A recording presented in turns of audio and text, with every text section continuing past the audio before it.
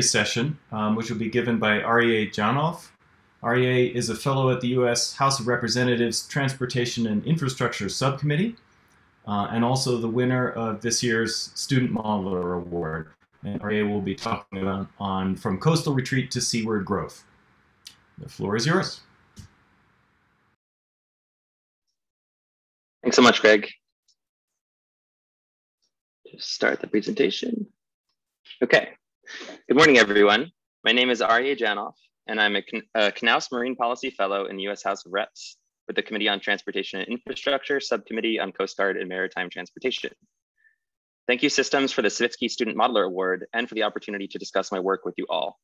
I recently completed my PhD at Montclair State University with Jorge Lorenzo Trueba, and today I'll discuss a chapter in my dissertation on community scale beach nourishment decisions along human modified coasts, in which I explored the interplay between socioeconomics, coordination, and shoreline change. This work was done in collaboration with researchers at WHOI. Thanks to NSF for funding this project under the Dynamics of Coupled Natural Human Systems program, and for the computational resource support under the Major Research Instrumentation program.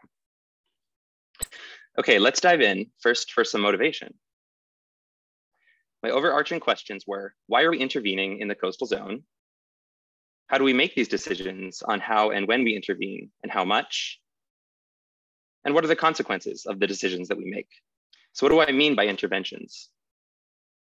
Well, we dredge sediments from offshore or tidal inlet reservoirs to add to our beaches. We place hard structures in the surf zone to alter the beach's dynamics to our liking. We build hard revetments, and more recently, dunes to protect against damaging storm surges. And we modify the subaerial or above water beach to enhance its tourism capacity in the summer months and to reduce the accumulation of windblown sand on roadways in, in the winter months. So why do we care about how human developed coasts behave on multi-decadal timescales? Well, there's a lot of money at stake and not just in the form of large beachfront homes. There are municipal, county, and state roads sewers, water mains, electricity lines, and telecommunication systems.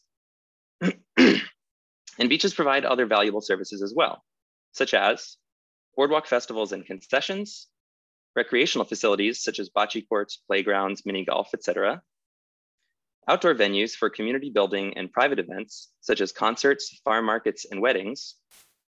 Towel space to support sunbathing, swimming, surfing, fishing, sailing, and many other ocean going activities ecotourism centered on barrier island, marsh dune, and intertidal habitats, and something spiritual by nature that grounds our soul into the sand and sea, solidifying our presence for generations to come. So what happens when our coastal life and infrastructure are threatened by chronic erosion, storms, or sea level rise? Well, we've abandoned our homes when the damage has been too great. We've raised our homes to avoid flood damage. We've hardened our coast to hold our position and in recent years, we've actually widened our beaches. And this anthropogenic signal is evident in shoreline morphologies. Previous research from Hapke et al. on the left found a switch from historically erosive beaches in bold to more recently progradation, progradational beaches in italics, as evidenced by the mean rate switch on the right bar graph from Armstrong et al.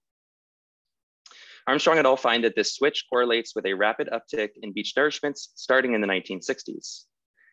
And zooming into Monmouth County, New Jersey, the geomorphic consequence of this signal is clear, spanning multiple communities along the coast. In this case, from 1920 to 2002, Avon by the Sea and Bradley Beach have experienced a seaward shift in their shorelines, highlighted by the red lines, relative to their oceanfront infrastructure, highlighted by the blue lines. So how do these intercommunity dynamics control systemic behavior? Well, Lazarus et al. and others observed that communities have failed to coordinate in the past, but Gopalakrishnan et al. indicate that coordinated beach nourishments result in higher nourishment rates, and thus wider beaches, by eliminating the free rider incentive, representing the economically optimal outcome. So can these behavioral feedbacks, based on management scheme, explain the beach widening that we see in New Jersey and along much of the US East Coast? This question is topical, given communities may maintain decentralized policies in the future, as suggested by Gopalakrishnan et al., which would serve to amplify wealth disparity due to sea level rise induced erosion. So I explored these questions using an idealized modeling framework. There are three alongshore cells in the model domain, two neighboring communities, i equals one and i equals two, and one boundary cell, i equals three, that proxies adjacent natural coast. In response to background erosion, the communities can nourish their beaches, forming an ephemeral seaward protrusion, and triggering a longshore sediment transport based on the coastline's gradient, denoted by the solid line connecting the white circles, relative to the angle of wave approach. The sediment is taken from the upper shore face or subaerial beach in seaward cells and deposited at the shoreline in landward cells, with a periodic condition at the system's boundary such that any sediments leaving one edge, QL3, are received at the other. Now in cross shore, nourishment steepen the shore face slope beyond its equilibrium profile, denoted by the pink line, triggering transport from the upper shore face offshore to the lower shore face or shore face toe, thus relaxing the slope toward equilibrium. The system's morphodynamics can thus be described by two moving boundaries, the shoreline XS and the shore face toe, XT. The shoreline's location relative to the property setback forms the beach width, which is capitalized into the beachfront property value as an environmental amenity, adding both protective and recreational value. Combined with the corresponding project costs, I performed cost benefit analyses for a range of return periods between renourishments or rotation lengths. And given a, fish, a fixed project volume, I found the optimal strategy that yields the maximum net benefit. I then compared how communities optimize their rotation lengths based on their respective welfare analyses or the non-coordination scheme, or based on their joint net benefit, the coordination scheme. Next, I explored the role of longshore wealth disparities on strategy selections and both the geomorphic and economic outcomes of these management decisions. And finally, I tested how this system might respond under higher erosion rates associated with sea level rise and higher sand costs associated with reduced resource availability in the future. In general, the model produces four behaviors on the left. Seaward growth due to a short rotation length in panel A, hold the line due to a moderate rotation length in panel B, slow retreat due to a long rotation length that results in beachfront property loss in panel C, and full retreat due to no nourishment also resulting in, in property loss in panel D. There's evidence of these mode behaviors in the field based on nourishment records on the right, where communities such as Ocean City, New Jersey nourish a lot and widen their beaches in panel A. Brigantine, New Jersey nourishes just enough to protect their properties in panel B. And Dauphin Island, Alabama and Cedar Island, Virginia, panels C and D respectively, nourish infrequently or not at all, resulting in property abandonment or relocation. From community scale nourishment and socioeconomic data in New Jersey, I found a community's rotation length decreases or its nourishment frequency increases as its beachfront wealth increases. The variability in this relationship, however, could be explained in part by the wealth and nourishment choices in neighboring communities as well. For instance, let's take a look at two pairs of neighboring communities in Southern New Jersey. First, Avalon and Stone Harbor, and second, Strathmere and Sea Isle City. So zooming in, we see that Avalon and Stone Harbor are spaced farther apart than Strathmere and Sea Isle City, as evidenced by their scale bars on the bottom right corner in the imagery. This alongshore effect manifests in their beach widths, where Avalon and Stone Harbor's morphodynamics are more decoupled on the bottom left, and Strathmere, Strathmere and Sea Isle City experience more interconnected beach morphodynamics on the bottom right. This highlights the importance of alongshore connectivity in nourishment policy development. Testing the effect of wealth distribution between neighbors with one community's property value on the y-axis and the others on the x-axis, I found a behavioral progression from full retreat to slow retreat to hold the line to seaward growth as wealth increases, with the thresholds between behaviors depending on the combination of property values under coordination in the left panel, and on each community's individual property value under non-coordination in the right panel but I was also interested in the economic implications of such management policies. Comparing the net benefit of coordination and non-coordination quantifies the marginal importance of working cooperatively depending on a two community couplets location within the regime space. Aside from the scenario in which coordination avoids property abandonment, highlighted by the arrows on the left, wealth disparate systems realize the greatest marginal increase in net benefit by coordinating, I pinpoint a representative two community couplet to show the key difference. In the uncoordinated scheme, wealthier communities tend to undernourish or nourish less frequently than they, than they would have under coordination because they ignore the external benefits associated with helping preserve their neighbors' beaches. Whereas less wealthy communities tend to overnourish or nourish more frequently than they would have under coordination because they do not account for the beneficial effects of their neighbors' nourishment activities. In short, working together, wealthier communities should nourish more and less wealthy communities should nourish less than if they form their policies alone. There is evidence of this dynamic in the field, with many instances of less wealthy communities nourishing more than their wealthier neighbors, as seen in the left panel, showing the nourishment flux difference relative to the less wealthy community as a function of the wealth disparity for each data point representing a two community couplet. Where data below zero indicate the less wealthy community has a higher nourishment flux than the wealthier community. This results in wider beaches regardless of the magnitude of wealth disparity, as seen in the right panel, showing the beach width difference relative to the less wealthy community as a function of the wealth difference. Where data below zero indicate the less wealthy community realizes wider beaches than the wealthier community. While this data provides evidence of overnourishment, there are some dynamics outside of the model scope. I explore other possible determinants of this nourishment activity in future work. But what happens in the future as these systems face climate threats such as sea level rise? In addition, as communities deplete their nearshore sand supplies and must search for beach quality sand further offshore, the cost of sand is expected to increase. How will systems respond to these physical and economic changes? I explored community responses and geomorphic behaviors associated with increased erosion rates on the y-axis and increased sand costs on the x-axis for coordination and non-coordination schemes in panels A and B, respectively. If communities coordinate, they might be able to nourish more and preserve their properties longer under higher erosion rates and sand costs than if they manage their beaches alone. This is clearer in the cross-section through the regime spaces on the right in panel C. This result provides evidence that continued decentralized management will be detrimental for property preservation and that the current misallocation of nourishment effort could be unsustainable. More broadly, the model presents a potential complement to property buyout programs, whereby nourishment can reduce the rate of retreat but still lead to the managed removal of properties from vulnerable areas. Ultimately, regional coordination is required to ensure that management policies are both economically and socially just. So what questions emerged? First, why are less wealthy communities nourishing more than wealthier communities in the field, which actually goes beyond the model's scope and results in an appreciable geomorphic difference between communities? Can this be explained by non-coordination alone, or is there something else within the system controlling this outcome? In addition, how are hard structures such as groins and jetties affecting these nourishment decisions? Do we see dampened nourishment efforts updrift of these structures due to impoundment and amplified effort, efforts downdrift due to sediment starvation? So to touch on this future work briefly. As stated, Many communities rely on summer tourism for sustaining their local economies, evidenced here in Long Branch, New Jersey.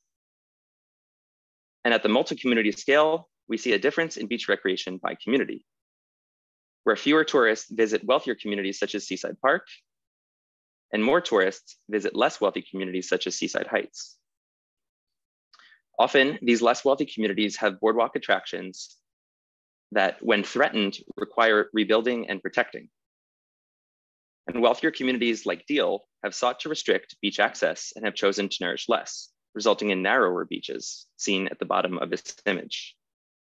This is evidence of the NIMBY effect, where those with adequate financial and political capital value and thus seek a more private beach experience. And we see evidence of this categorical difference in recreational preference at various points along the coast. On the left, Deal, the wealthier, more residential community, nourishes less than Asbury Park, the less wealthy tourism-centric community.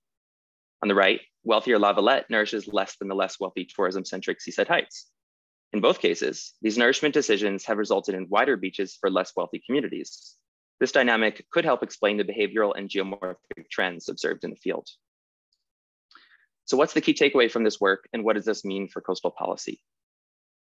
Communities might forego significant benefits by failing to coordinate their management plans. Decentralized schemes might make beachfront property protection more difficult under rapid sea level rise and increasing resource costs. Particularly vulnerable are less wealthy communities overnourishing at present, possibly representing an environmental injustice. And in follow-up work that extended this model framework, I found that property value is not the only driver of community scale nourishment decisions, but that local beach tourism is also important, especially in New Jersey. and that population density has been a key driver of community responses to groin-induced erosion. In future policymaking, we must include social equity as well. This means reframing how we define benefits, given that a wealth-centered analysis will invariably disadvantage low wealth communities, making their project justifications more difficult if the benefit cost ratio is too low. As a start, President Biden recently signed an executive order that included a Justice 40 initiative to deliver 40% of climate investment benefits to disadvantaged communities. Such directives are key, especially in concert with state level policy changes. Concurrently, legislators could introduce language that adds priority within existing grant programs to fund projects with environmental justice considerations, to expand how agencies define project benefits, or to stand up new programs with similar goals. So to close, I'd like to extend my heartfelt thanks to the systems community. Since my first meeting, I have felt welcomed, supported, inspired, and a sense of belonging. It is an honor to have this platform to speak on such issues as science policy and environmental equity. Special thanks to my PhD advisor, Jorge Lorenzo Trueba, and my undergraduate advisor, Nicole Gasparini. I am proud to follow in your footsteps. And with that, I'll open the floor to questions and leave you with a photo of where we'd all rather be today in beautiful Boulder, Colorado at the foot of the Flatirons. Thank you so much, Arye. That was a terrific talk. Um, questions for Arye? Either in the chat or with raised hand.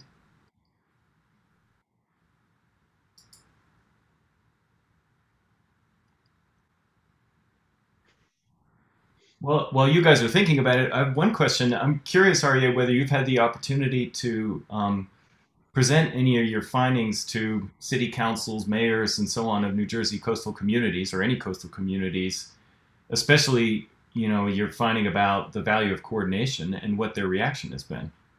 Yeah, that's a great question since this work is very applied. Um, so I'm actually the secretary of my town's, my small coastal communities environmental commission. So I get the chance to work uh, on the ground with some of these issues, and it deals less with coordination and more with just broader environmental issues. Uh, but I am engaged in uh, the town council, um, and I've actually spoken in front of the mayor and council about sea level rise planning, um, but specifically on coordination. Uh, during my PhD defense, I was lucky enough to have the mayor and one of the councilmen uh, join in and listen, and I had a follow-up discussion about how we can better coordinate um, with the councilmen, with our neighboring communities. Um, it's a little bit difficult because beach nourishment policies are largely now hashed out at the Army Corps level. Uh, you know, the, the, the planning stage is at least, and then the opt-in stage and the local financing is done at the local level. Um, but this could be extended beyond just beach nourishment. This could include uh, coordination on Living Shorelines project for coastal lakes that span two communities um, or you know there are shared um, services between communities. Uh, the first one that comes to mind is trash and recycling pickup. I know that that's not exactly uh, resource economics related, but it's similar in that the hardest part about coordination is getting folks to the table and um, actually being able, like not doing duplicative, duplicative work and being able to work toward one common goal. So hopefully um, the mayor and council took some of our some, some of the insights from my defense and our conversations and are trying to implement them at the local level. That's great. Thank you. I see a question from Brad Murray. Go ahead, Brad. All right. Very, very cool talk. Fascinating stuff. I'm wondering, since the modeling is based on the economic benefits to the housing market, and you've shown pretty convincingly that it, at least in the communities you're looking at, the tourism benefit is is more dominant in some of those communities. Do you have plans to try to quantify the economic benefits of tourism to feed into this modeling framework that to make the model more relevant to the those communities that you're looking at? Yeah, that's a great question. And that was actually the focus of my second dissertation chapter. So um, that was more of an empirical analysis um, to try to understand what how tourism plays a role in determining nourishment policies. Um, and what I found was that the extent of commercial real estate in the community was actually um, a pretty significant predictor of nourishment policies. So if that if it's a predictor, that must mean that it's accumulating benefits in some way.